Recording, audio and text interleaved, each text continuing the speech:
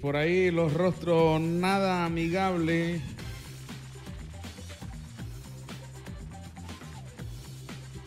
Nada amigable por parte de la universidad que tuvo un primer tiempo muy bueno, que estuvo esta jugada, Mixael, que la pasó para que la mandara a volar el número 45, que es Víctor Baltodano, después lo iba a intentar nuevamente con disparo de media distancia, se animaba, Osejo le pegaba con potencia, lograba así contener el guardameta a dos tiempos.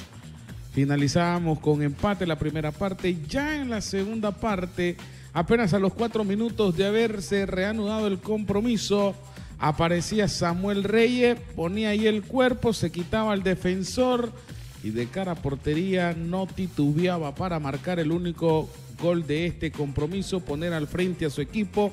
Después la universidad siguió llegando, siguió luchando.